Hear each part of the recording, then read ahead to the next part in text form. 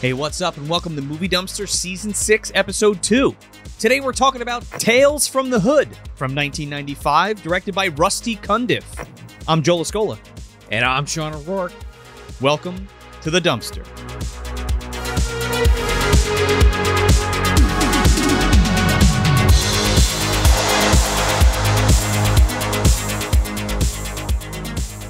We're back with another anthology movie, Joe. I'm loving it. More Uh, anthologies, please. Could not wait to talk about this one. This one's been in the pipe for a while. Yeah. Um, I know, I know. Some of you dumpster dwellers have been waiting for this episode, and here we go. We're we're giving it to you hard and fast. Uh, but first, if you're watching on YouTube, do us a favor. Give it like, hit that like button, hit that subscribe button. You know, I know everybody and their mother tells you to hit the like and subscribe button, but it really does help. We'd really appreciate it. And uh, you know, share share this video after you're done watching it. That would be great. You don't want Mr. Simms coming after you.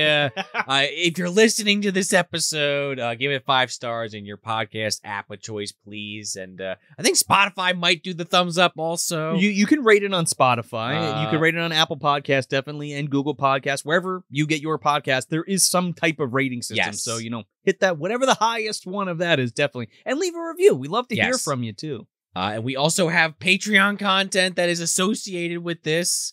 Uh, we have a commentary track coming out, or it may be out by now for New Jack City. Yeah, that's gonna be as, a good one. as part of our look at blaxploitation films this month. Uh, we also have a watch along coming out for Don't Be a Menace. Don't know the full name, Joe. Help me out. to South Central while you drink your juice in the hood. There you go. And uh, we'll also have a mini sode for the two dollar tier on Bones, and uh, we also have a junk mail that had just come out at the beginning of the season here. So we're kind of just getting everything rolled out. This is Yeah. kind of the new normal. This is the new normal. You're gonna get two main episodes. Yes, You're gonna get a mini sode on Patreon. You're gonna get a junk mail on Patreon, depending what we get. Yes. If we have stuff to show, um, and you're gonna get a commentary track on Patreon and a live watch. live along. watch along. four, five, and ten tier. And we do also have a ripe review of Shin Ultraman. Uh, again, the, the the release schedule on that either is coming or is already out. Yes, so check but the, that out. but you're at least going to get one ripe review too. yes, yes. So uh, for for for the for the free content. Um, by the way, if you're listening on your podcast app, you might have noticed that there are ads on Yes. the episodes now. You can get your episodes, your audio versions of this show ad free for two dollars a month on that Patreon. So and you and you also get the minisodes and junk mail. So it's yeah, like a, exactly you get way more than just the uh the episode if being you sign ad up. free. Yeah, Yeah, yeah. exactly. So with that being said, let's jump into Tales from the Hood. Yes. Uh now this is my first viewing. Again, this is one I don't know Believe that. It's just one I just never got around to. You Really? know, always saw the, the cover, always kind of jumped out. It's so fucking iconic, Yes, dude. yes. This VHS, I remember seeing this in the store. You couldn't keep me the fuck away from this. I, it's, get it. it's it's a it's a the uh, holographic glasses and not everything. holographic. It- It's just like a shiny. It's like a chromed. Yeah, I don't even know what the fuck you'd call that, but like it's all reflective and shit. It's like a, gold, skull. a gold tinge almost. Yeah, like uh, yes, sign me up. I'm picking this up and I am watching this for sure. I'm renting this, which I did. Uh, but I'm glad I watched it. I guess Yeah. is is is my point there because this was a lot of fun. Um, I- I think it's a blast, and like, I remember the trailer for this specifically, and it had that cl- the classic trailer voice on it, like the guy who Oh. talks like this. Tales from the Hood. Chew. Or be chewed. Hey man, I don't need to be hearing this, man. The music and stuff in that trailer, I just remember so vividly, and I'm like, oh my god, like I, I gotta see this this horror movie. Um, but also uh, at the time, you know, Tales from the Crypt. The t- the the resurgence of the t- or the the I don't want to call it a remake, but like uh, Well, the right. television show because there was the one from '72, Oh, yeah. the Amicus one from '72, but um, which we'll talk about in a second. Okay. Uh, but uh, the the HBO was had the Tales from the Crypt show on at this time when this when this was out, um, which was re- now this movie was released in theaters, but Hmm. when it came to video, it was released by HBO Video and Savoy Pictures. Huh. Yeah, So, so does it actually have a relation to Tales from the Crypt then, no, well, or just that- happened to be Yeah, HBO well, coincidentally? Yes, but no, Okay. which we'll get to. Oh, okay. Uh, basically, the, the relationship of this and Tales from the Crypt is the fact that uh, Rusty Cundieff and uh, Darin Scott were fans of Creepshow Okay. and Tales from the Crypt and Twilight Zone and the Amicus uh, anthology movies. Sure. Which which totally shows in the film. Yeah, oh, big time. Um, and speaking of Amicus, you know, we didn't mention it at all uh, at any of those rev- uh, anthology movies on the Creep Show episode because it was just a packed episode, and I really wanted to focus on that. And I know that I said that uh, Creep Show is the best anthology movie, and I still stand by Sure. that. But it's not the first. There, there's so many. There's so many, but like Amicus is responsible for it. Well, actually, Dead of Night was the kickoff, right? And Right, that right, was in 45, I think. Something Um, like that. And then Amicus put out Doctor Terror's House of Horrors and uh, Tales from the Crypt, and there's so many. Uh, the uh, the House that Dripped Blood, Torture Garden. Um, you know, there's a ton of Well, good the- anthology movies that Amicus had put out predating Creepshow. Sure, and there's there's stuff that's even around Creep Show or more modern, like we've talked before. Like I think it was Cat's Eye was one. Well, there's Cat's Eye, yeah, but I'm I mean, talking specifically no, leading yeah. up to yeah. Sure, sure, but I'm just saying there's also just anthology films in general are just always kind of fun to look at. I guess Oh, yeah. just piggyback off of what you're saying, I suppose is what I mean. I'll, I'll like go. we, we we did Body Melt, which is kind of a uh, Uh, anthology. I mean, not not in the pure sense of like this or Creep Show, kind but of feels like but it. if you break it Yeah. down, it kind of counts. It kind of counts. Um, I'll go out. I'll just put it right out there. I think I think um anthology movies are my favorite movies. okay. And we talk a lot about that on the the Talks from the Dark Side True. show, uh, which is back now. Go check it out Yes, every yes. Tuesday, baby. Um, and uh, Creep Show and on and like I don't know. I just have a connection to these things, and I and I like. And we we've talked about it a lot. Oh yeah, we've talked yeah, about yeah. it No, at, yeah. at nauseum I, I, on the yeah. Creep Show episode and Talks from the Dark Side. No, I yeah. agree. I agree. Yeah. Might not be my favorite, but they are really fun. Yeah, oh, absolutely. I mean, it's I think the most fun about it is being able to tell different stories in a short capacity. So you get like five little movies instead of one big one. Well, and a lot of stories work you- better like that. Yeah, well, especially when you include the wraparound, and I like the way Yeah. they do the wraparound in this one. You don't just get it at the beginning and end; it's kind of like after each segment, you kind of come back to it. And like, Yes. all right, what's the next part of this puzzle of of Tales from the Hood? the way that they structure it is really Yeah, cool, which we'll talk about. Um, but yeah, if you're new to the show and, and this is your first rodeo with us, uh, this is the second season of the or the second episode of the sixth season. But uh, what we do is we we tell a little ba- uh, backstory behind the scenes, uh, the trivia's, if you will, and then we talk about the movie. Um, this movie scared the shit out of me as a kid. By the way, I can see it. um, it has all the hallmarks of the things that really scared me, uh, like dolls coming to life and like Yeah. um Zombies. zombies and and and uh um going insane or a s having like a psychosis thing like like really weird kind of shit Sure. like that but like as an adult i can appreciate all the themes that we're going to talk about in this Yeah. because it, it it melds them together really well Mhm. um the the social political commentary with the horror movie and that, that's the best way to do horror in my Yeah, opinion. and there's a lot. in and there's a lot yeah but not Not in a bad not way. in a bad way, and not as heavy-handed as, say, I don't know, Disco Godfather. weirdly enough. yeah, actually. so this was actually born out of a stage show that Rusty Cundieff uh, was putting on at the time. It was like a, it was like a, well one-act stage play. Hmm. Uh, what was it called? It was called the the Black Horror Show. And Darin Scott, actually, I forgot to grab it. Can you do me a favor and grab me Offspring, the or the Offspring off that shelf, off the shelf, please? Thank you very much. I forgot to put this out on the table because it's relevant. It's also another anthology movie and it has Vincent Price in it, but it was also written by Darin Scott and directed by an MDU alumni, Jeff Burr. Um, Now, Jeff Burr! now this movie was is was like if you try to look this up, Yeah. it's from a whisper to a scream. That's Oh, the okay, anthology. Okay. But uh, for whatever reason, they when they released this uh, on tape, they called it The Offspring. Okay. Clu Gulager's in this. It's very good. Um, but so so with uh with Rusty doing that stage show and uh Darin doing The Offspring and like or from a whisper to a scream rather and writing from a whisper to a scream, they got together and they made Tales from the Hood because they kind of just melded together because uh Darin had a very strong knack for like all the horror stuff Okay. and where uh, Rusty had more of the political driven things behind it. But when they got together, Peanut and- butter and chocolate. yeah, man, peanut butter and chocolate, and like it melds very well, and they worked really well together. Yeah. and that's how this movie came to be. But another thing that I love, um, of course, that we talk a lot about is the special effects, and this is a fucking cocktail of effects houses because the coolest one of the coolest things about Tales from the Hood is that they treated each segment um they wanted to give it a different flavor. So Mhm. they hired different effects houses to do each segment, Smart. which I thought was fucking cool. So we got KNB kicking up Ah, in yeah. here for um for the for the for the asshole cop one. Okay. We got Screaming Mad George in here for the devil effects I, just- I thought I saw Chiodo's name sprinkled in there somewhere. Yeah, well, Screaming Mad George does um the stuff with the uh, David Alan Grier segment, and he does the the stuff with um the devil at the end, Mm. and uh the Chiodos do all of the doll stuff and the stop motion and shit. Oh, okay. So, and then Kenneth Hall, uh Kenneth Oh, J okay, Hall, yeah. excuse me, um.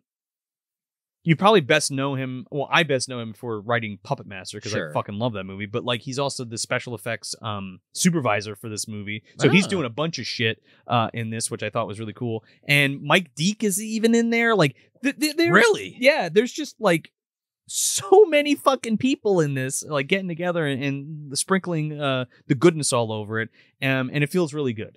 Yeah, I would say that I don't really have a problem with any of the effects in this film. I no, they're it's, like, fucking great. consistent throughout. Yeah. And the last thing I kind of wanted to talk about was um the sequels to this movie. I saw that. Okay. So 2018 and 2020. yeah, which is pretty removed from 1995. I'm gonna go out on a limb here before you say what you're gonna say and say, is this or or or take a guess, I guess I should say. Is this a creep show three situation? I don't know because I'd never seen them. Oh, okay. okay. Also, I, I forgot to mention before, but this is also produced by Spike Lee. Now, here's the thing. yes, I saw that in the credits. Now, here's the thing. Tales from the Hood 2 comes out in 2018. I've never seen it. All right. Keith David is now playing Mr. Simms, which we'll get to. Um, So Okay. instead instead of uh, Clarence Williams, it's now Keith David playing the Mr. Simms character. But I could see it. but Rusty and Darin come back to write it and direct it, and Spike Lee fucking produces again. So Maybe it's good then. maybe it's good. I don't know. I've never seen it. Then Tales from the Hood 3 Right. comes out in 2020. So Okay. it's a very quick turnaround so on that one. so pretty quick, I, I would say. But now Tony Todd takes the play. Now he doesn't play Mr. Simms in three, but he's more he's the narrator. You know, he's the the host, if you will, in that one, which is also written and directed by by Rusty and Darin, and also produced by Spike Lee. So the team stays together for the next two sequels, well, I guess which at, is pretty impressive. at the very least something to at least check out, or maybe whether in our own time or on the show down the line, if maybe they'll be good if the, the original people are mostly involved. Yeah, I don't know. I've never seen them. Hey, let us know in the comments if you've seen Tales from the Hood 2 or Tales from the Hood 3 or both and you know, do they do they stack up to the original? Are they as good as it? Or, or Uh, are they at least close? Are they worth watching? Like Yeah. I don't know. I'm open to the idea. I just can't really comment on them because I don't know too much, sure. but I wanted to talk about them a little bit. Yeah. So yeah, do you want to plot crunch this or do you want me to plot crunch it? Um, I, pluck Crunchy. Yeah. okay, so, go ahead. Go for 2. Here we go. Uh, so, so basically, your setup is that the uh, these three guys, Three gang members. uh, a, a bull, bulldog, stack, and ball. Yeah. Uh, they come up to this funeral home because they have some business to take care of. Uh, and you're introduced to Mr. Simms, who basically takes us on this journey uh, as he kind of shows these guys, these different people in uh, their caskets, and tells them, well, how they died as he's walking them around this funeral home, which seems like for for eons. And the means to the end is the shit. The shit. Uh, yeah, well, and, and the point is, each story is a, a different anthology or segment in the Yes. anthology, and then we kind of uh, it all comes together with a bow on it at the end. So right out of the gate, we get this really cool intro that I really like, and there's like it's like this skeleton, and there's like the like, Oh, the yeah. shot to this like fucking skeleton that's like all that has like sunglasses and like a gold tooth and a fucking gap, it's kind of cool. and uh the score is so fucking good, dude. Chris Young is kicking up here, man. Um, it's really good. Um, and if you don't know who Chris Young is, he did the the iconic score for Hellraiser. Oh, okay. Yeah, Chris Young's great. Yeah, we the- got to meet him. Chris and I met him at the Count Basie Theater when they did a showing Oh, really? of Hellraiser. He was so cool. Hmm.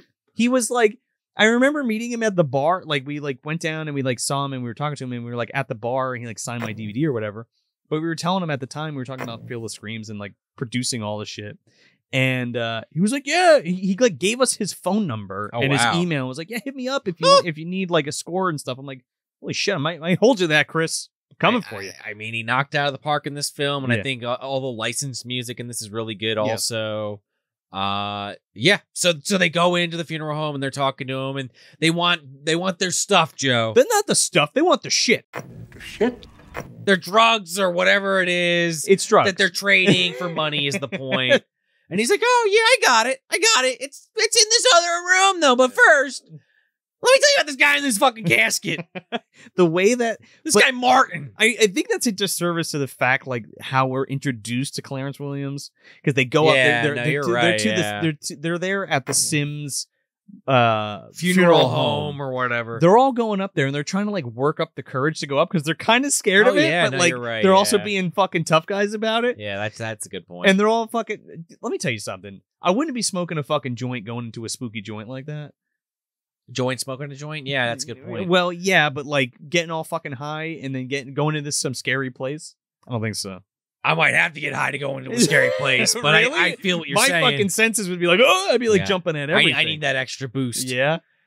Um. So so Clarence Williams like pulls the fucking thing up and scares the shit out Oh, of these yeah, guys, and the one dude Stack fucking runs into like a signpost and fucking knocks himself Yeah, out. Oh yeah. They, It's- they gotta give him medical attention Yeah, when he's brought great, in. man. So they bring him inside, they give him ice and shit. And then he's like, All right, where the fuck's the shit? And he's Yeah. like, the shit? The shit. Uh yeah, the shit. And he's like, Yeah, the drugs, motherfucker. He's like, ah, the drugs. Yes. And he's like, well, How about I tell you this story? He's like, I don't we don't want a fucking ghost story or nothing. Oh, Right, and, and, and just for let me clarify, I said Martin. It's Clarence in in the uh, casket.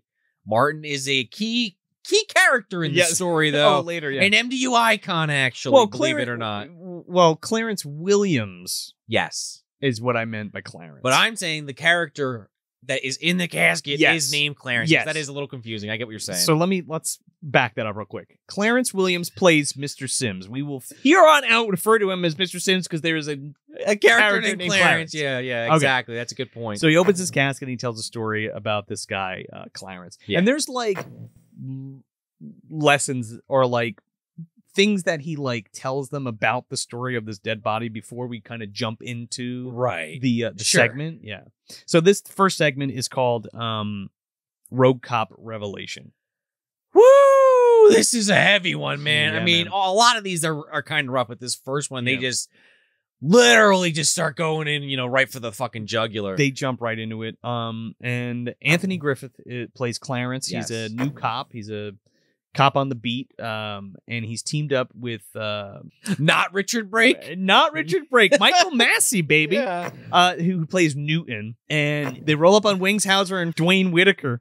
So these scumbag cops have uh, Mor- Martin Morehouse pulled over, who's like this uh, councilman for the town, and he's basically cracking down on like crooked cops and like cops that are selling drugs and shit. Yeah, And, you know, police brutality against, you know, black people and stuff like that. So they're like, yeah, no, yeah, your tail light was out. And they smash it Oh, yeah, with the fucking, you know, Billy Club and everything. And fucking uh, Wings Hauser and Duane Whitaker like beating the shit out of this guy, like fucking with him Yeah. like big time. It- It's also of note Clarence is black, and that's kind of plays into it later. But they're just like, yeah, uh, ignore this. Go look up his car to Yeah, make sure it's not stolen. Run his plates. Yeah, and he's like, uh, okay. So when he goes to do that, they like this is like one of the I remember this like as a kid. It was like it's even it's even fucked up now, but like it really like made me feel like it's very impactful this part. Yeah. They beat the shit out of this guy and this fucking they music smash his fucking head into the mirror. Wings like throws his fucking head through like the window. Yeah. And then they're like beating the shit out of him. And it's all to this like uh old old blues tune. Yeah. I don't know who it is, but um yeah. It's uh to cut the tension though. Uh, you, know who this is, right? Who? Tom Wright. Thanks for the ride, lady. Oh my god! It's Mr. Ben Bend over. Oh no, it's Ben This man can't die, as we're gonna find out shortly. Oh my god, that's okay. That's what, literally the same actor. That's what happened? Creep Show Two. that's what happened, yeah. right? He he, you know, we we were talking about like he was on the side of the road, Right, we did a commentary track on Patreon for Creep Show 2 for, Yes. for reference. Yeah, to, to tie this up, go over to Patreon, listen to the Creep Show 2 commentary track. Yeah. we were talking like he wasn't like a bum or anything on the side of the road. Like he In the- actually in like the hitch was the hitchhiker. the segment. hitchhiker. Yeah, but like he he under his under his raincoat, it was like a Gucci raincoat. and he had like really expensive His clothes. car just broke down. down So yeah, it was this. It was like the alternate timeline yeah. of this situation. Yeah. Uh yeah. This it happened again. He broke down, but this time he got fucking murdered by the police. Oh my god! or he might as well have been because then uh you know rookie cop Clarence comes out and he tries to stop him but really doesn't. And they're just like yeah don't worry about it. We're taking him to the hospital. Don't sweat it. Yeah, we need to get you to a hospital. So him and Newton like drive off, and um, Wings Hauser and fucking Duane um, Duane Whitaker like put him in the car and drive him to this dock. to the docks! And he's like, and Wing Hauser's like, by the way, yep, the fucking cops are selling drugs, you piece of shit. And he like shoots him up with like I don't know what heroin. I guess. heroin yeah and he's like yeah yeah you're never gonna tell anybody there goes your legacy because we're gonna make you out to be a drug addict piece of shit And they fuck. They throw the fucking like two kilos in his trunk, and they drive him off a fucking dock. dude. yeah yeah flash forward a year Clarence is now a drunk. He quit the force. He couldn't handle the pressure. Just the conscience. because He he had a guilty say conscience. anything. They- yeah. because like the other cops are like, yeah, you know, the number one rule is you know you don't tell on other cops, like no matter what. And he's like, uh, uh, yeah, but this is fucking ridiculous. Obey the code. but he he basically keeps hearing this voice in his head. I guess over the course of literally a year, I guess it's implied, uh, of Mister Martin, kind of yelling, "Bring them to me." Yeah, he's having. He's like, you don't know if it's like, like, Jacob Marley almost. You kind of. You don't know if it's like the DTs or some shit.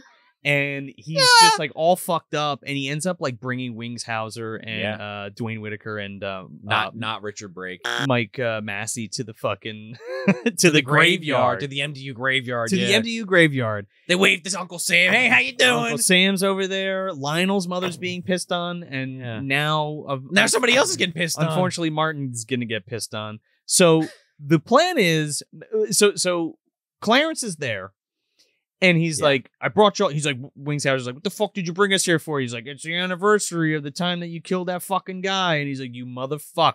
So we didn't kill him. We, didn't kill we him. We didn't kill nobody. What are you talking He about? He jumped out of the car. We don't know what happened to him. So they, so he convinces these guys to like go to his grave, Right.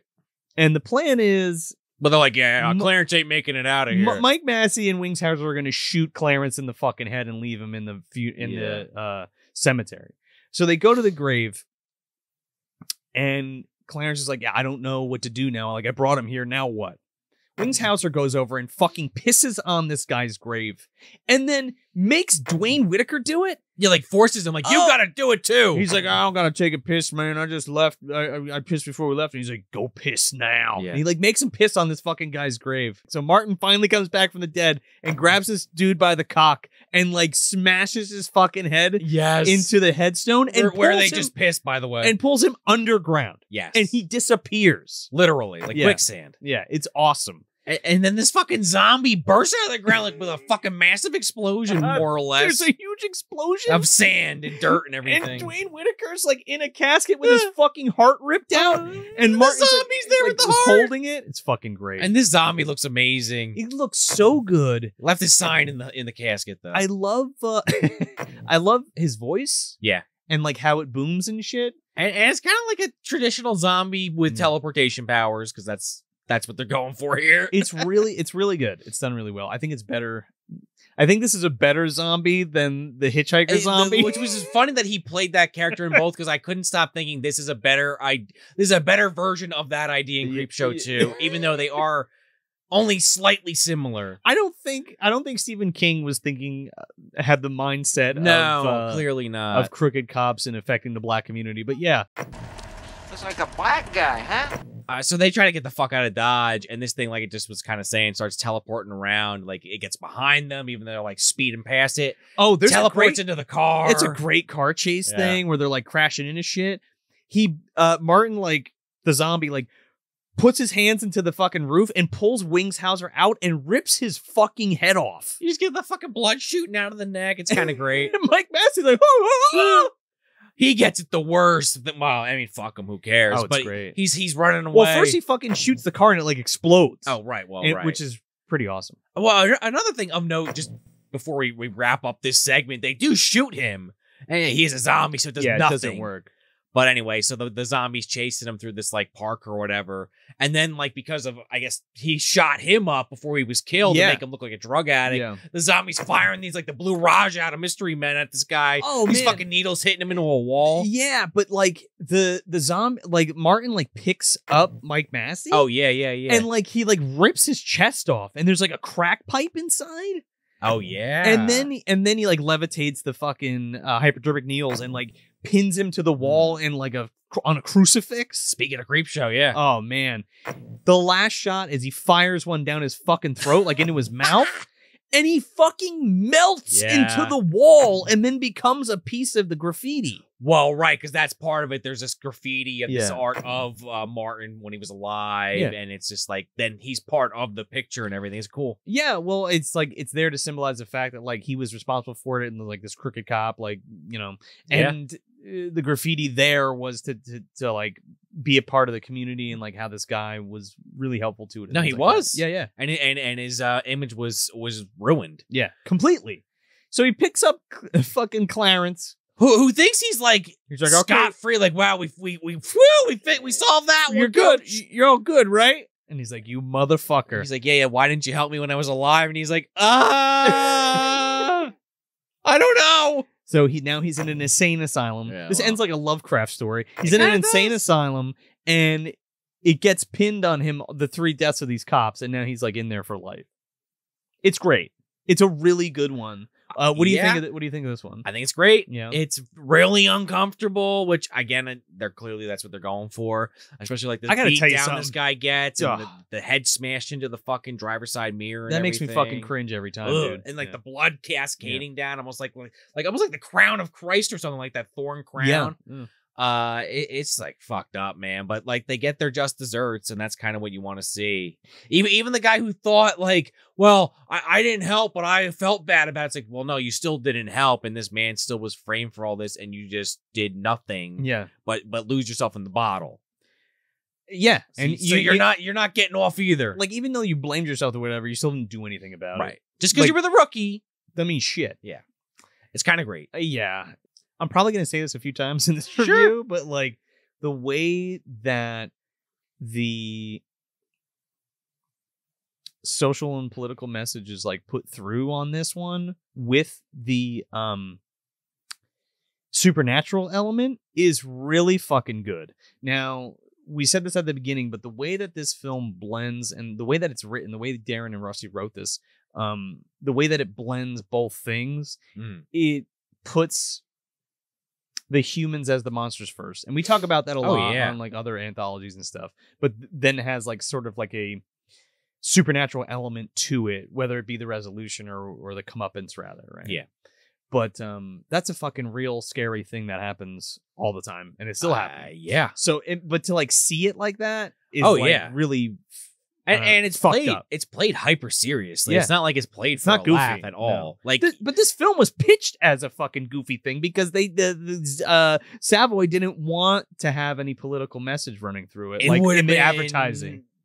nowhere near as memorable, I would say. I but I guess, I guess we don't know A lot of people didn't see this when it came out because because of that. because Because they wasn't, thought it was like some stupid Oh, thing. That's a shame. Yeah. Anyway, it's really good, and I, I think this segment uh, is very good. Yes, and then we uh we kind of cut back. We kind of get a little uh in between with Simms and and the boys, and then he says, "All right, yeah, uh, follow me, follow me Alright, to where's this the stuff." shit? Ah, the shit. I, this is like fucking Piccolo leading Majin Buu around the goddamn temple so that Trunks and Goten could get a few more minutes in the fucking. The, what was the hyperbolic time chamber? For God's sakes, this guy's like going in circles around this funeral Ah, home. the, ah, the shit, it's this way, and he like takes him downstairs, yeah, and he comes across another casket, yeah. and this time there's like this burnt mass of shit in it, and they're like, "What the fuck happened to him?" Now this one's prompted by them. Well, this story's prompted by them. this thing's pretty fucking well, disgusting they asked, looking. they're like super like curious about Yeah. this morbid fucking slop in front of them. So um, He's like, ah, let me tell you about Walter. let me tell you about Walter, and uh, you know, Walter has a good perception of reality and fantasy or something like that. Wa- Walter's a mutant, by the way. FYI. Walter Does like he know Roland? Is he? Is he? Is he? Was he one of the characters from yesterday's Target that wasn't uh, featured in that film? Yeah, I, I mean, I think that's I think that's the, the yeah, case. yeah. Malcolm McDowell's looking for him. Yeah, absolutely. Season one, folks. Daniel Baldwin film yesterday's Target. Look it up. So this this segment's called uh, "Boys Do Get Bruised." Yeah. Oh man, another tough one. I don't think any of these aren't a little tough. This, yeah, again, this one deals with like domestic abuse, um, and With monsters at home, yeah, well, the personification of monsters, literally. um, and real the real life monsters, um, and how this kid like perceives what's happening. Right. You know? Uh, it, I mean, he straight up tells his teacher that his dad's dead, but a monster lives at home. So uh, that's, I guess, his coping Yeah. mechanism. I guess. but but yeah, this kid Walter, he's new in town, and uh, or at least new at this school. Yeah. Well, we open up and we see like him in his room. Oh, with the monster, and you coming in, hear the yeah. monster like coming up the stairs and like opening the door. Yeah, you see the arm, You see the you like see the, Grendel. the fucking hand come in. Yeah. Yeah. But to to what I was saying, he's a new student.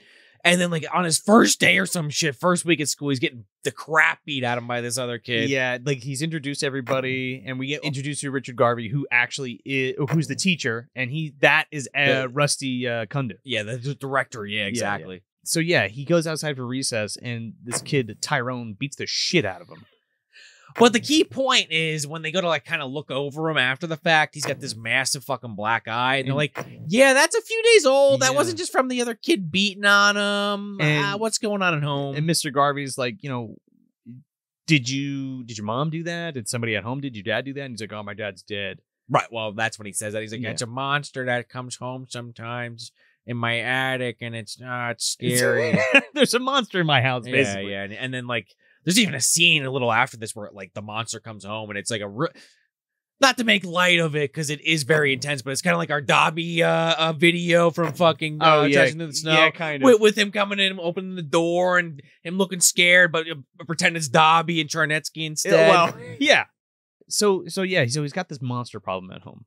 Now, Mr. Garvey thinks it's like you know, something obviously that he's like putting in place of that or like Well, he, he draws how he too. copes. Yeah. So so he goes to him uh, at recess the next day and he's inside, he's drawing these pictures. And he has a picture of the fucking monster. And that's why he's like, "Oh, well, you know, that's not real and blah blah blah." And Walter says to him, "Well, if I draw a picture, the little girl behind me told me if I draw pictures of things that hurt me, I can hurt them. I can like destroy them or burn them up, and it'll get rid of them." Right. So he has a picture of the monster and he has a picture of Tyrone. So they have this back and forth, and and Mr. Garvey's like, "Look, you shouldn't be drawing pictures of this shit. Like, we should actually talk about it. I want to talk with your mother, so let's set something up. Right. I'm gonna come. I'm gonna come over tonight."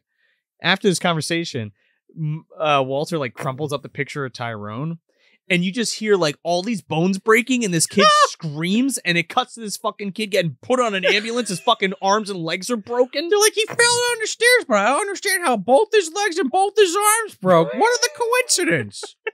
what are the odds? It's it's fucking weird. Meanwhile, you're sitting there like, huh, yeah, that was weird. Again, he's a mutant, FYI. yeah. For some reason. so Mr. Garvey goes to the house that night right. and he gets there and um, he's talking to mom and he's basically like, look, Walter's, you know, I want to know what's going on with Walter because like he's coming into school with like bruises on him and a black eye and shit. Right. And he's talking about this monster that lives at home. Now, when he first talks to her, she, she's like, oh, it's Miss, uh, whatever, not Miss. right. Right. And he's like, "Oh, my dad's dead." That's what he said before. And um, so he doesn't think that there's anybody No, else. in why, the why house. would he? Yeah. So he's really confused. So they're talking, and Walter comes in, and she's like, "What? What's all this monster shit? Like, stop with the monster stuff. Blah blah blah. Go to your room." You hear the car horn honk outside, and you're like, huh. and you're like, "Who the fuck is that?" Because mom is like, "Oh shit," and he's like, "Mm, "What's going on?" So she's like, "She's like, stay here. You know, be quiet." She goes out front, and uh, David Alan Grier of all people walks through the door.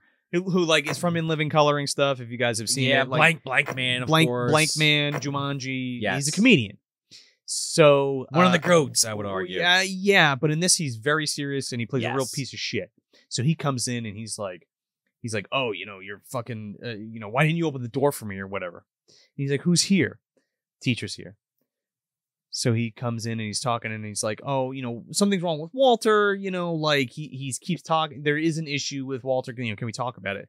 And he's basically like, "Oh, Walter keeps saying there's this monster and he's got bruises on him and shit. By the way, like he drew this picture of it. Like I don't know what the fuck's going on." yeah. And also there's like kind of like while he's saying that, like the teacher's not reading the room Yeah, because the mom is just kind of like clearly like trying to get him to not say what he's saying based on like she's like well uh nah, well uh, yeah because she knows like when he finishes what he says that just means Walter's gonna get his ass whipped yeah, because this teacher has good intentions but doesn't realize that dad's like oh he's doing this at school oh Yeah. he's he's drawing me as a monster oh hell no Ugh. you know literally So they get him. So he tells him to leave. Yeah. and he leaves. get the fuck out of my house Yeah.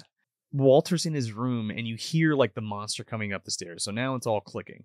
Right. right yeah exactly But when he opens the door, he's got the fucking like monster hand. Wh- which I'm still thinking he turns into one at this I- point I, I think know? so. Or I think so. but I right? guess it's the, the the literal, just the he like figurative. he like rolls up his sleeves and it like says like monster on his arm, like a Yeah. tattoo. Like he's Yeah. a real piece of shit. like as the teachers leave and he's already rolling them up, so Yeah. you know he's he's about to whip some ass. but when he walks in, Walter, you, you see the silhouette of his head, and it's like a big Big monster, head. monster, yeah, I like that. And he goes up to he goes up to Walter. and He's like, "Oh, you little motherfucker!" He's like, "You like drawing fucked up pictures of people." And then he starts beating the kid. He like picks him up and puts him against a wall. He's doing like one of these. He's doing like a fucking press he fuck, fucking fucking palm mom striking him Mom comes in and David Alan Grier beats the shit out of her with a belt. punches her in the face and then beats her with like a belt. It's really like It's brutal. it's impactful, man. Uh, um, Gar- Garvey, he's kind of just like getting like his shit together in the car before he leaves, and he, He sees David it. Alan Grier beating the shit out of her in the in the window. So he runs back in and he tries to help, but he just gets his ass kicked too. he fucking goes to fight David Alan Grier, and David Alan Grier beats the shit out of him. Well, then thank God Walter finally comes up with a bright idea. So he And- has the picture Yeah, the of the monster. This is brutal. so Starts folding this motherfucker up like origami. he- he's about to hit mom with a fucking frying pan. oh and he folds his arm and it like breaks backwards. Now this is the screaming mad George stuff. It like breaks Oh, backwards yeah. and like I Walter like twists him and his whole fucking body twists. yeah, the paper. around. ah, It's great. Fucking squishes him and he's just like a broken mess of shit on the It's like a ground. blob. Mom steps on it. Oh, on And the like a- paper to finish him off. A yeah. spray of blood happens. Mhm. And they uh and uh Mr. Garvey's like, all right, he's like, all right, Walter, you know what to do. And they fucking burn the picture on the stove. Because they're like, how the fuck are we gonna clean this up? Yeah, and like and like David Alan Grier goes up in flames. Yeah. And then yeah, we- screaming the whole time. and then we cut back to the fucking charred shit remains in the Right, in the oh. casket. then that's what that is. Blank Man's brother. Walter Walter beat the monster. I Killed mean, it. I, I do think this literally is the same character from Blank Man. You know, he was trying to get with that reporter woman in the movie, but Blank Man does his brother, who he considers to be just like an idiot savant. And he's like so upset. He just like goes off the deep end into like alcoholism and just like gets married and just turns into this mo- this massive piece of This shit monster. his kid. Yeah, yeah. All because of Blank Man. Oh man, that's a he didn't have grandma to watch over him anymore. that's a that's a dark turn for him, right? Let's hope that there there's a better uh split timeline for old David I, I, I hope somewhere so. in the movie dumpster universe. I hope so. What, what do you think of this one? Um, I like this one less, but I feel like the message is very good in this one, especially like the intensity is really ratcheted up on this one too. Uh, it's pretty good. Uh, it- it's more just like the impact of it, like the the shock, I guess, if you will. Uh, is is what makes this one, but I think overall it's just kind of like eh.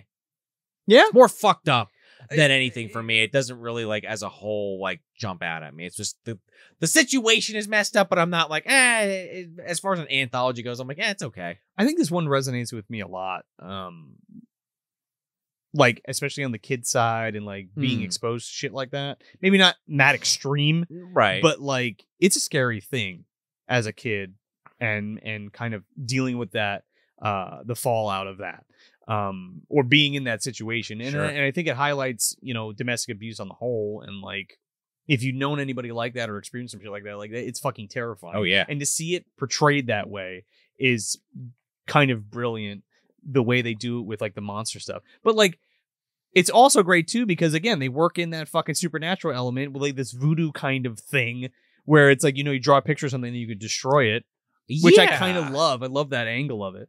Um, and just the fucking the ending of it is so good when he folds up the fucking paper and he, David Alan Grier just turns into shit and breaks apart. It's fucking great. I, I I guess the most like creep showy or or or Tales from the Crypty kind of thing is that he just has random voodoo or or uh, superpowers, if you will. Well, you know, in with the general, folding the paper. I think it's but- pa- I think it's power of intention, really. okay. is Yeah, what, yeah, is yeah. what that comes down to. And to see David Alan Grier play a serious Yeah, role, that- not that- only serious and a and, and like a, a kind of a dark role. yeah, not even yeah, not even Not even just kind of. It is a dark. not role. even just serious, but like this real mean piece of shit, like Oh, yeah. ugly fucking person. Um, is kind of a twist. And I think it's kind of like a, a triumph for him, just like as an actor, because he's always doing like comedy shit. Um, but yeah, and then we're we're I I I I think this one is good too. I think I like this one better than the first one. Oh, okay. Yeah, I could see it. yeah. So we're back in Simms funeral parlor. Yes, we are.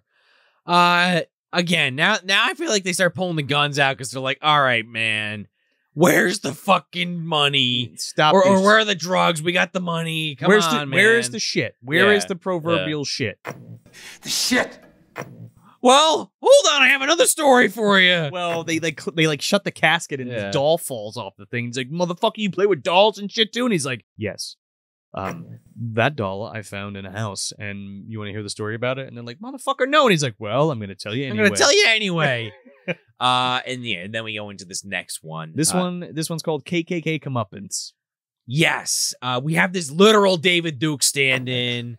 Uh, But he is. His name is Duke. Duke Met- Medgar. Duke Metger, yeah. Uh, a former KKK guy Who's running as a politician for mayor? He- He's like a yeah, or governor or something. he's like a something governor like or something. that. Who is a literal former fucking Klan Do, member? do you think he know he knows uh, Bo Gums? Probably. Friends with him? I think Bo Gums had a little bit more uh, uh, sympathy than this fucking A guy. little bit more tact. yeah, a little bit more tact. Uh, too. yeah, this guy is that stereotype. He is that guy, that that racist that everyone sees on TV or reads about in the in the local paper. Uh, that is that is everybody hates. yes. He moves into the fucking historic plantation. Yeah. doesn't care what the locals think. Part of his camp. Uh, so, like, this story derived from like there was a campaign running at the time. I forget who who was doing it, but it was like basically like, oh, the minorities are taking your jobs and blah blah blah. Like, it was a campaign that like was like a real actual oh, political oh, Well, campaign, shock me, which no. is fucked up. So they were just like, bloop, we're gonna take that, pop this in. But yeah, like you said, to add insult to injury, this fucking guy moves into a plantation house where like the guy who used to the plantation owner that used to own it when the slaves were set free he went fucking ballistic and killed over like a hundred of them and like lynched them and shot them Oh, and yeah. hung them and did all this horrible shit to because them. because if he couldn't have them, they couldn't be free. Kind of crazy Yeah. bullshit.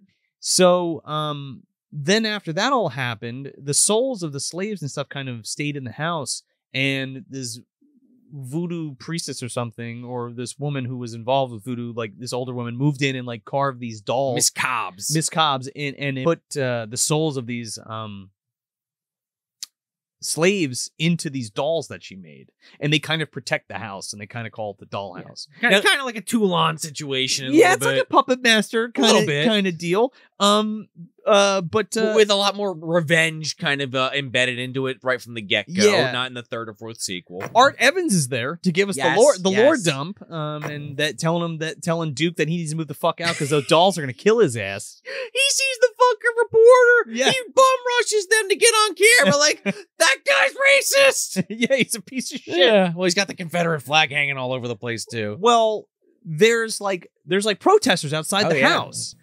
And he's like, "Oh, I gotta get all these black people off the lawn and all this shit." It's like it's yeah, we yeah. Well, he, and he's basically doing like practicing his speeches and whatnot with his like uh I, I guess he's like his campaign manager or something to that. Yeah, who's also a black guy, and the irony of like this black guy helping this piece of shit dude, and like telling him like Uh, telling him what he should say to like also- reporters and also stuff. being racist at the same time. Yeah. Well, yeah, well, fuck that guy. He's the first one to go because like they're told that this place is cursed or has something wrong with it, and Yeah. with dolls or ghosts or something to that Yeah. effect. Like, ah, we don't care, whatever. We're gonna repaint it all anyway. Oh yeah, because there's a mural of Yes. Miss Cobbs and the and the um All the the dolls. dolls. Like fifty of them. It's great. whatever. Um yeah, but like you were saying, they're doing they're like going through campaign speeches And, recording and it, recording filming it rather. Yeah. And his campaign manager's like, no, no, no, you can't, you can't say that. Uh, you're too defensive, and that's totally a racist thing to say. So he like says it the way he should say it, and he's like, yeah, record me. This guy backs up towards the Backs up towards the stairs and fucking falls down the stairs and ends up like breaking his neck and like his head splits open. But did he fall or was he pushed, Joe? I don't know. We'll find out soon enough. well, those eagle-eyed viewers might have already figured it out. I caught it. Did you? yeah, no, I did, did. you stop and rewind it? Not that time. Did you do a fucking tenebrae? This well, that was deep red. Oh, Deep but Red, I guess excuse you, me. You could also do it in Tenebrae for sure. Ruin the movie for Ruin yourself. Ruin the movie for yourself. Yeah, so we're at the funeral of this guy. Everybody's there. Everybody's there, and like Duke's making some bullshit fucking like speech, and like why Yeah. why he's it's okay that he's staying at the plantation house and stuff. He's like, well, Trying to I didn't it. do it. It wasn't my ancestors just because I'm white or whatever. It's like, bro, Missing the point again. You- he's a former KKK guy. He you- doesn't care. You were in the Klan, and Yeah. you're a fucking scumbag, and you're literally just doing this to be a piece of Yeah, shit. yeah. So he gets in his limo, and one of the fucking dolls is in the limo. yes. Oh, I want to preface it with the fact that Duke tells the story about the dolls and Oh, the well, voodoo right, lady, yeah. and he was like trying to look around the house for these dolls because he wanted to like sell them or yeah, something. he's like, oh, I was trying to sell them and see if they were worth something. Yeah, I love this shot too because it like pans down and he couldn't find him, but it's under the floorboards. Yes, And yes. it's fucking great. And it's creepy as fuck. By the way, the Chiodo brothers designing these dolls and doing the stop motion and stuff, they're fucking frightening. And coupled with Christopher Young's score with like that violin, it's almost had this Twilight Zone, the movie quality to sure, it. sure. I, it freaked me out as a fucking kid. Uh, and, and then of course this guy is just using every curse word and racist, you know, phrase under the sun uh, whenever he can to complain about, you know, black and brown people. yeah. So he throws Uh, his fucking doll out the window yes, right, right, of the right. limo. And he's like, "How dare you put this in here? Who let this person in here to bring this doll in here?" And the driver's like, It's a black driver, by the way. "Well, right, exactly." So he's just like, It's like, "Nobody, nobody was in the fucking Yeah. car, man. Shut up. throws it out there." So he goes home. Well, now he notices like the painting on the wall. The one that he saw is now like missing from the it's painting. like there's like a white spot where Yeah. it was. And it was like, an an outline in the painting. Yeah. Yeah, yeah. And then we get like this Chucky vision of this doll Yeah. like running back to the house.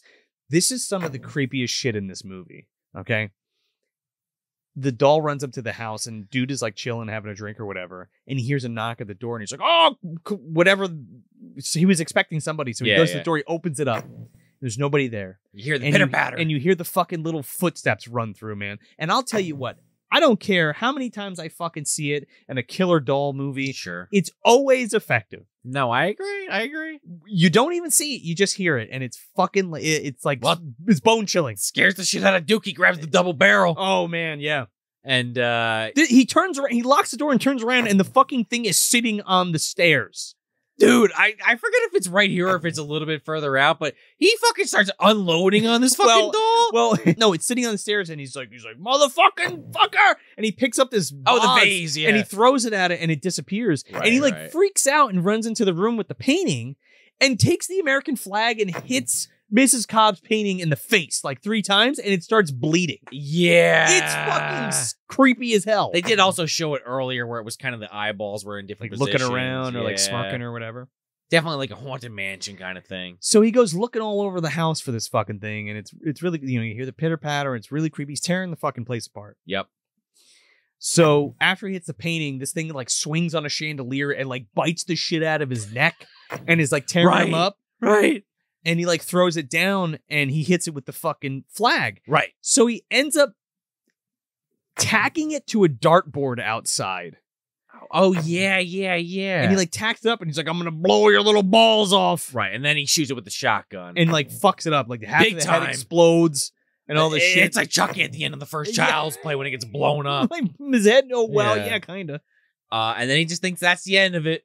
There's not 50 more of those things in the painting to worry about. Absolutely not. Man, Walks in, there's four more missing in the like painting. four more missing. He He's starts like, ah, shit. he fucking goes back out into the into the parlor and uh the the fucking doll that he shot is now like standing in the doorway with its in like fixing its head. And the stop motion here is so fucking good. It runs after him and he like runs back into his office, but he goes to close the door. This thing, fucking thing like jumps and like pushes the door open. So it has like the strength of like a man. Well, again, and that's the thing a lot with It's like the souls of the slaves, things, yeah. Like again, like Chucky, where it's Yeah. just like this. It, it- just because it's a little doll, it has like the power of a man. Yeah, well, it has this the whole soul of Yeah. a of a slave in it. yeah. exactly, exactly. Um, but they're also like the other ones are in the room with them already, so it doesn't Oh, matter. Now all of the dolls are out of the painting. Oh yeah, yeah. Like and more than like like there's like maybe 20 or 30 or 40 or whatever in the painting, but there's like 50 or 60 of these fucking pe- like dolls Man, surrounding him. like, again, a I- cavalcade of them. I cannot stress the fact that the Chiodos like did such a great job with like making all these little well, dolls. they're like the masters of making like multiple things. well, unique. well, the, I think they're one of the best little rubber monster Oh, that's what I'm and or stop motion animators like ever. Um, because each one of these dolls, at least that they focus on, Yeah. have something different about them, something Yeah. unique about them. and they're all in different clothes and Yeah. stuff. Um, so there was going to be a different ending here. okay. So you know how the dolls like start to close in, and he has like the flag, and he's like, oh, and he's screaming.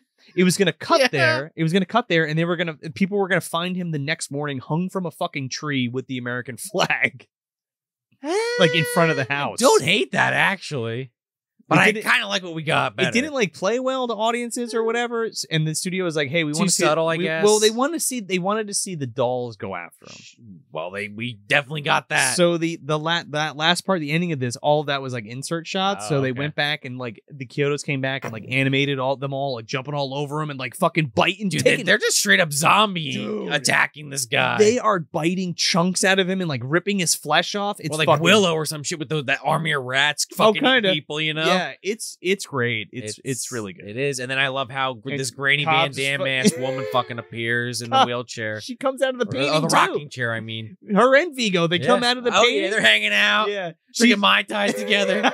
she's rocking in the chair, and uh she's just smiling as this fucking guy gets devoured by these dolls. It's awesome. it's really good. Uh, I like this one a lot. It's great. It's just some racist piece of shit. Uh, much like the first one, I guess maybe maybe that's my theme so far with Yeah. this. It's just like people getting what they deserve. That's the whole point. I mean, Yeah. that's the tales. Well, that's yeah, the tales from the uh. Crypt Mo, dude. The EC uh, uh coat of paint, Yes. and uh, it's glorious, and uh, I I can't really say much else. It's a really good one. This is my favorite. Okay. I really like this one because Well, the dolls, the dolls, the killer Yeah. fucking dolls, man. I I love it. They're creepy. I love the They, and they, they kind of have like that realism to them too, Yeah. like the faces. the practical effects are really fucking cool. I love this fucking. I love how you fre- I, I love how uh, Rusty and Darin have freshened up the killer doll thing Mm. by like adding this whole nother layer to it, where it's like you know the dead soul, the souls of these slaves are like in these little killer dolls, and like this guy's a racist piece of shit, and he totally gets his comeuppance, but like he's also like, not, I don't want to say likable, but like I enjoy watching him deal with these, Yeah, deal no, with them, yeah. and then like, and then you know get fucking. I mean, he's also eaten to death. going out of his way to like purposely living at this plantation, not caring about like how the locals feel about it. Yeah, So it's like asshole being an asshole on top of being an Yeah. asshole, you know, kind of thing. it just it's just a it's a very I don't know it this one just feels the most to me like a, a crypt Sure. and I and I really enjoy it I don't know Uh, I I think it's the dolls I It- really it- like it- the effects very really good. good, the more I'm thinking about it, as you're saying it, it might be my favorite. But And- let- let's talk about the last one first. But yeah, Yes. yeah. So we're back in the parlor again. We're walking around. Finally, we get to the one of the last rooms of the house, Yes. and now they're not really having any of it, man. They're fucking pissed off. They want, again, they've been walking around for an hour as far as the Yeah. runtime's concerned. and they're like, "What the fuck?" And he, he's like, "We want the shit right now. Give it to us." So they pull the Yeah, fucking they get the guns, guns out. out now. Shit. But they open the casket. And like, well, what about this fucking guy? And they all fucking like go white because they're just like, we know that fucking guy. He's like, he's a friend of yours. You know him? He's like, yeah, we know him. He's like, no, we don't fucking know him. And all this stuff. Right. Um, and then we get the last story, Yes. which is hardcore convert. Now this is uh kind of an interesting one. So we we kick this one off where this guy Crazy K, Crazy K, who His- is who is the guy in the in the casket. yes, Lamont Bentley, by the way, Okay. he was uh, well, who was he? He was uh, he was Hakeem Campbell on Moesha for like Oh, the whole se- series, and that that character is a completely opposite Oh, of who he, what he plays in this movie. Well, in this one, he's chasing down his rival, Yeah. Little Deke. Yeah, He sees his car. He's like, "Oh, I This know that car anywhere." Yeah. Fucking goes up to him. This guy gets out of his car, like trying to walk into his house, and this guy just gets out, crazy K, and just starts shooting him. yeah, you didn't think I saw you? Boom, boom, boom, blows him away. Little Deke's like, what? What's up, man? What are you doing? I can't even fucking see. And And- he's, and, and he's like, and you know what you did, motherfucker? He's like, I don't even know who you are, and he's just shooting the shit out of him. And so then Crazy K, like I don't know what he was thinking. Like he was just gonna leave. Also, he has KK, you know, shaved into his head. Yeah. hence Crazy K. Yeah, A- And, then just the guy's boys come out and they just like start beating the shit out of him. they fucking shoot shooting him, in his chest. Yeah. And he's like, oh, oh, oh, oh," like bleeding out of the mouth, barely alive. he falls to the ground and they're like questioning him and shit. He's like, "You want you know you want us to shoot you in the fucking head or the chest and blah blah blah." The fucking cops roll up And they got him surrounded. and like they start and then they shoot the three boy the three guys. Yeah, yeah, yeah. and they As they- they're running away. as they're running away, they shoot him. So Crazy K is picked up and taken. Right, because he barely survives. yeah. So we're gonna put him in the Nemesis program. fucking Helena Bonham Carter's there. They're gonna make it there, yeah. They're gonna Sam turn him into a fucking Terminator. Yeah, before Sam Worthington accepted, they had to ask other people to be sure. Uh yeah, this guy four, he's been there for four years. He's recovered. He's in great shape, Yeah. and they want to make him a machine or Yeah, something. Dr. Cushing wants to make Yeah. it wants to rehabilitate him. Uh Rosalind Cash, by the way, yes. who I believe was in I forget the movie, but I remember her from um a different world, that Yes. Cosby show spinoff. Yep. Yeah. She's in a bunch of stuff. Oh, from def- Omega. She's in Omega Man. Oh, okay, there Yeah. you go. Definitely a lot of stuff around that time I was reading. Yeah. Uh or like 70s, 80s too, Yeah. especially. Also, just a morbid thing of, of coincidence in real life. Uh, Lamont and um and Rosalind died the same year after making this. Oh wow. she passed away from cancer, and he was in a car crash. Oh died. my god. So I just thought that was like really strange.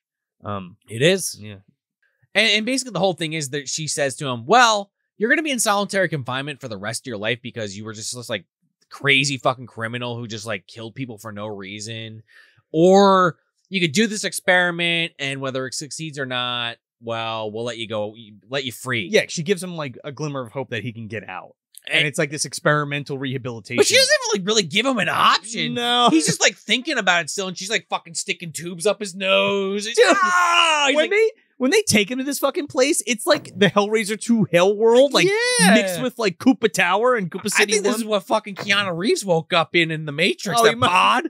they fucking strap him into this like device, this clockwork orange ass fucking Yeah. device where they like jam a tube up his nose, like you were saying, and like a ball in his mouth that like shoots this green liquid in it, Yeah, and then like this fucking eyes this thing. VR thing. Yeah, and it's basically like a like a brainwashing technique. Wow, it's like they're showing him what he's done. Almost Man. it feels like This like, hey, look at all this fucked up shit you did. Why'd you like keep showing people getting shot thi- this is and like this, these like gang war kind of like yeah, footage? but like all of that is like fake, and it's like Mm. black on black crime basically. well, that's a lot of the message on but- this one in particular. But what's really scary about this scene is like flashes of these black and white photos of like real Klan Oh, lynchings yeah. and stuff of like actual uh African American people like getting fucking hung from trees and shit, which is terrifying and disgusting. And it's just like I've never seen anything like that. well, right in a movie, In yeah, a yeah, yeah, like yeah. like this is like that's why I was I, I had said on like the live show, like this is like a black horror movie Mm. that I've I've never seen anything like this. You know what I mean? And for them to uh, put that in this part specifically and like basically show him the error of his ways. Or and like and to. like look what you're doing like you like you've been oppressed for so for, like our race has been like so oppressed and like you're you're taking out our own people. you're taking out your own your own people you Yeah, know? yeah, yeah. Just, just to be part of the gang life. or whatever and like Yeah, it I just doesn't make any fucking sense and like you're just a fucking piece of shit Yeah. So then they they they they put him in solitary. a, uh, dep- a, a sensory deprivation. right, thing. right, right, right. They like lower him down in this fucking chair. It's like fucking Ollie. Yeah, but he's in his underwear by the whole time. By Yeah, the well, way, you know they got to show up that package with his fucking donger poking out. Yeah. Yeah, So he's in the sens- sensory deprivation chamber, which is just basically like this like wooden room that's like lower down to the ground, like Yeah. in a basement almost. yeah. Uh, below sea level, I guess is the idea. I don't know. anyway, he just, just starts like fucking hole. He just starts seeing shit. She's like, "You're not gonna see here or, or, or be able to do anything." Second, he goes down there, a huge light comes on, and then these like ghosts start coming out, and it's like, "Yeah, we're the people you killed. Uh, some of us were bad. Some of us were just like sta- you know, bystanders." And there's like a little girl There's- and like an old woman and yeah, there's stuff like, like, that. strobing effect, and the, it- because there's like layers to it, right? Sure. Because he's like, he's like, I was your boy. Like, where the fuck you shoot me? And he's like, you always coming up short. So like, so fuck you, motherfucker. right. Yeah, I'm not gonna give you a reason. I just shot you. Yeah, and like these other guys are like, we didn't even kill your your your boy. Like, why'd you shoot us? And he's like, fuck you, motherfuckers, get out of here. Then this little girl shows up. And she's like, I wasn't doing anything. Like I was just playing in my room, and you shot uh, a bullet came through my window and you killed me. And he's like, he's like, a bullet ain't got no name, and blah blah blah. Well, because his whole thing is he doesn't take responsibility for his actions, No. even when they're presented to him in this way. No. And I guess, you know, there's obviously some supernatural element to this because again, this is a Tales thing.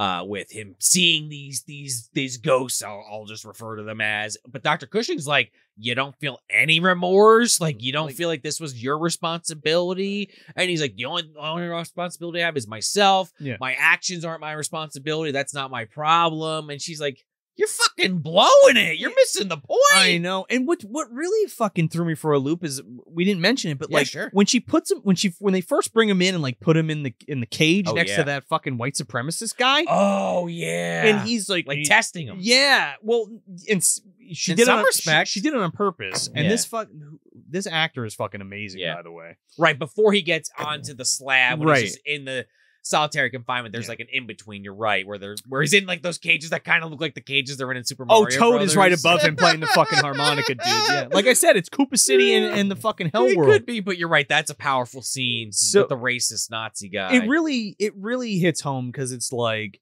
here's this fucking racist piece of shit like talking about like exterminating like all the black people and like all this stuff and he's like building an army and he's like we're gonna save some of you so you can be slaves for us or whatever and He's like, you want to be on our side? and he fucking punches this guy in the mouth. But then he's like he's like yeah you killed people? He's like what color were the people you killed? And he's like they were black weren't they? And he's like you're you're cool with me or whatever. And it's like fuck dude like do you like just from that uh, uh experience that that altercation that he just had like didn't open your fucking eyes at all? And then like now back in the sensory Yeah, well, deprivation right, chamber he's like uh, the doc is like, uh, "Oh, what are you gonna blame your mom? You're gonna blame your dad? You're gonna blame the school?" And he does. And he's like, "Yeah, it's all their fault. That's why I'm a fucking scumbag." And like, Yeah. "Fuck you! Like, I'm not gonna change." Yeah, so, someone that's not going to be rehabilitated No. also, I guess, is part of it too. Um, and they're just like, all right, well, fine. And he's like, yeah, I don't fucking want this. I don't fucking want this. Fuck you, fuck you, fuck you. And then like, it flashes. I don't back- give a fuck. I don't give a fuck. I don't give a fuck. I don't give a fuck. It flashes back and he's back on the street, Yeah, basically because again, bleeding out. supernatural bullshit because it's still Question it's mark? one of those kind of movies, Yeah. and it's like, well, if you don't give a fuck, we're taking this all back. You're back where you just Yeah. were, motherfucker. And yeah, like Joe just said, It's almost like some kind of weird Scrooge. Exactly, exactly, yeah. And he's saying, "Oh, I don't give a fuck." And and now in the response to where are we gonna shoot you? Yeah, Oh, you don't give a fuck? Boom! They fucking blow they him away fucking every light him up, dude. they light him up. and, and then you you find out uh that well, these aren't just some shadowy figures. No, Which I, is is very smart with the way that this is lit. With and you can figure it out, but we didn't. Didn't want to give it give it away until right now. yeah, but it's like that that that worm eye view, like from the ground Yeah, up. So yeah. it's like the light behind them. It's cool. and their voices are kind of altered a little bit. Yeah, but it is our our three characters that are here with Mr. Simms again. Sack, Bulldog, and Ball, or whatever the fuck Yeah. they're Ball Sack, and the three T scrote stack. Stack. I even call him Sack the whole episode. So, what do you think of hardcore or convert? I like that one a lot. I don't know. I think because it works with the wraparound, it, it like works a little better for me. Like like all together. might not be my favorite. It might actually be the one prior to that. Yeah. the, uh, the with the dolls. The that, like doll the more ones, I'm yeah. thinking about it, but this one was kind of fun, especially like the whole thing of like, oh, you were so fucking hard, and you just basically down to just the final minute. You would never let go, and you're gonna just never gonna like take responsibility for your actions. So fuck you too, I guess. And then you're like, well, I guess you're dead. That's, that's such like a powerful thing too, because like the way that wraps up, like he learned nothing. I yeah, he learned point. nothing, and Simms was like, yeah, some people just can't be reasoned with, and like some people won't change, Right, And in the you just gotta fucking kill them, Yeah, and it's exactly. like that's such a it's such a sad ending to that one because there's a lot of people that do fucked up shit all the time or like don't again don't take accountability for their actions live life eh, ruin people's fucking lives and don't even fucking it doesn't even bother them No. at night Well, look, you know? look at look at the first one with Clarence. I mean, we didn't even really talk about that, but like it's heavily implied that he's either just dead because they're in hell, like we find out at the end here, or he killed himself or something. Because if he's in that casket and he was in the insane asylum, either way, he didn't make it. No one's safe No. in this movie. No.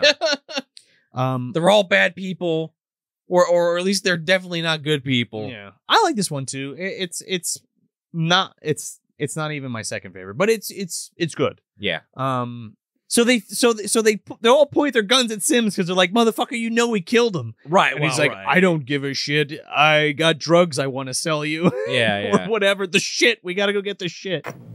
You'll get the shit.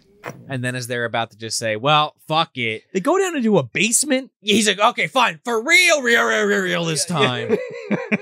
and, he, and they're about to blow him away. yeah. And he goes into the back and he's like, the shit's in there. In coffins, of course. That's where I'd hide the fucking drugs, stupid. They'll go check it out.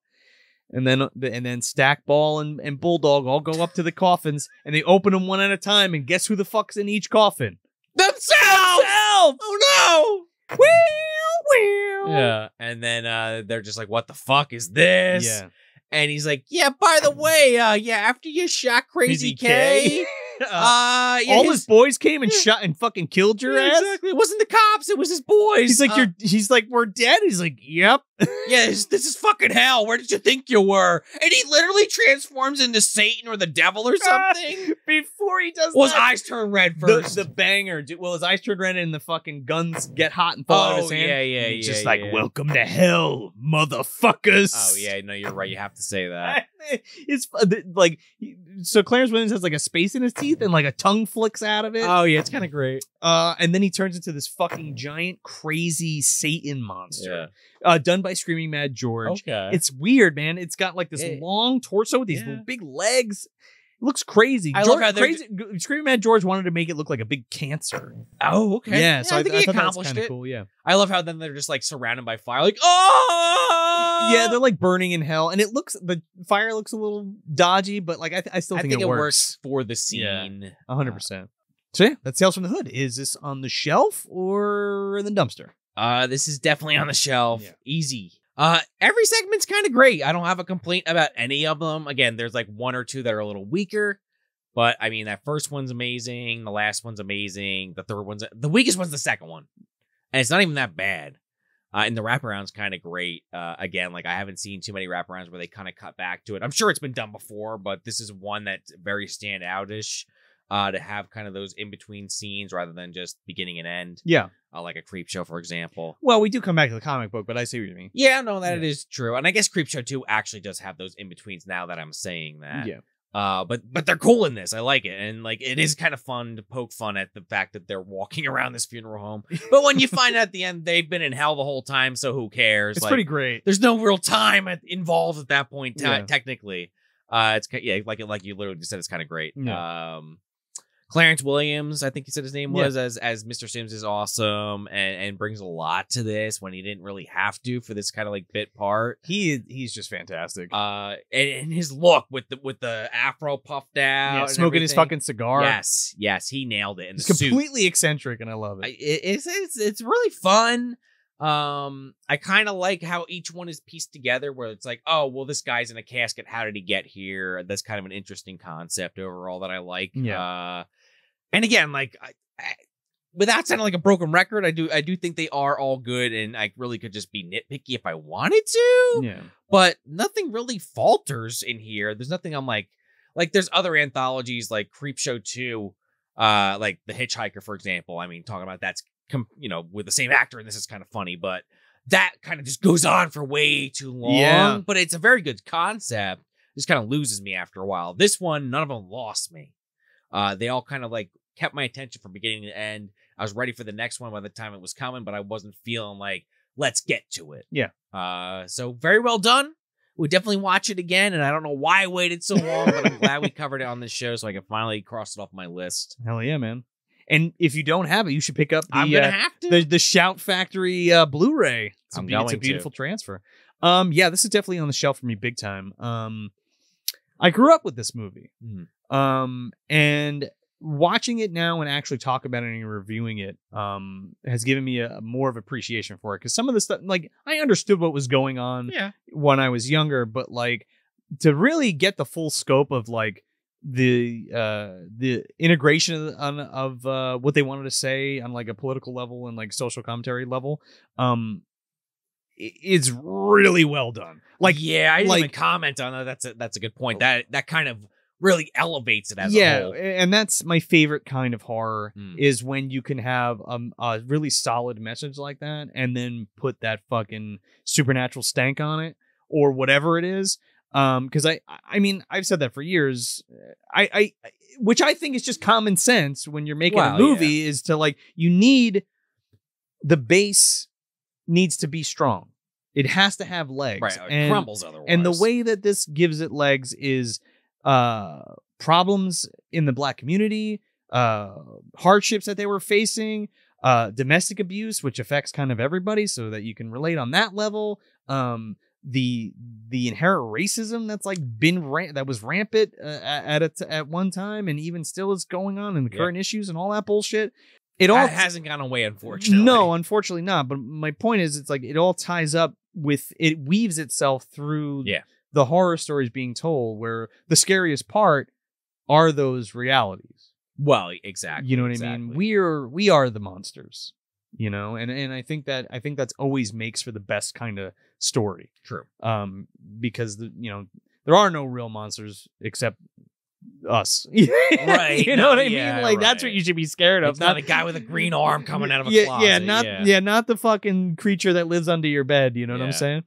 Um, as an anthology, it's fucking solid as hell. Oh, yeah. Like from top to bottom, it's fucking beautiful.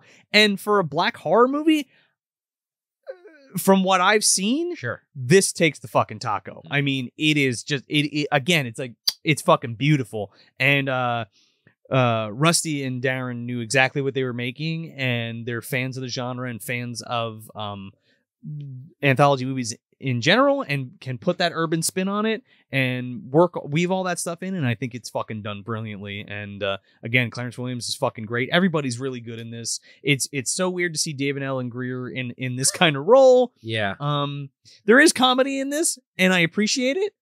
Um, but it also gets very scary and very real at other points too. So it kind of it kind of Yeah. navigates the up and down. Way less comedy uh, in this compared to like a Creepshow for sure, but it, it is it, it is there. you Yeah, know? no, for sure. But it's it's supposed to be. you Yeah, know? no, and, sure. and again, like like dude in um, and my my my favorite story, by the way, my favorite story is uh the KKK Muppets with the pup Mm. with the with the dolls.